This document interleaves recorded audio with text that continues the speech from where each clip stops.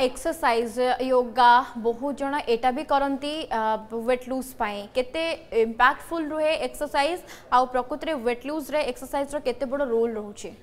cinema आज की date रे आम सब माने फीमेल माने स्पेशली अगर मुझे कहबी आम सब जॉब रे अच्छु तो सकाळे बाहर किसी एक्सरसाइज नहीं